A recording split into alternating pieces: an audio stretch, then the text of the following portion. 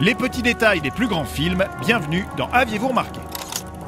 Avant Genesis, avant Christian Bale, avant Le Jugement Dernier, la saga Terminator, c'est un film petit budget des années 80, avec des effets spéciaux bricolés et des coupes de cheveux, euh, bref, années 80. Il était donc bien temps de parler des petits secrets et détails de ce film culte avant les autres. Et premier détail intéressant du film, avec cette scène de boîte de nuit où Sarah Connor et Kyle Reese sont chassés par le Terminator. Si vous êtes attentif, vous aurez remarqué le nom particulier de l'endroit, appelé le Tech Noir. Un nom de club loin d'être anodin puisque décidé par James Cameron en personne, car c'était également le sous-genre cinématographique dans lequel le réalisateur rangeait son film.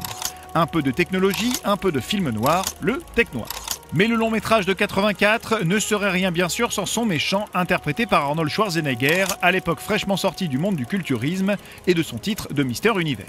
Un acteur qui n'a pour l'anecdote que 14 lignes de dialogue dans le film et qui en profitera pour placer ses amis, comme pour le Terminator visible dans la scène du souvenir de Kyle Reese ici, interprété par Franco Columbu, plusieurs fois Mister Olympe et ami de Harney, issu là encore de l'univers des fans de biceps. En plus de ces petits secrets, le film nous permet de remarquer que la voix de l'ami de Sarah Connor qui annule leur rendez-vous et que l'on peut entendre sur ce répondeur est celle de James Cameron, que ce dernier peut également être entendu de nouveau en tant que réceptionniste du motel dans cette scène, et que le réalisateur en a même profité pour mettre son propre berger allemand, Wolfie, devant la caméra. Pour finir avec les clins d'œil du cinéaste à lui-même, les spectateurs à l'œil aiguisé auront remarqué que le camion que conduit le Terminator à la fin du film arbore le logo J et G qui signifie bien James et Gail, comme Gail Ann Hurd, productrice du film et à l'époque femme de James Cameron. Enfin, outre ces détails un peu égocentriques, les fans d'ordinateur auront remarqué que lorsque l'on voit à travers les yeux du Terminator, comme ici, les écritures à gauche ne sont pas n'importe quelles écritures, mais celles d'une partie du code de programmation de l'Apple II,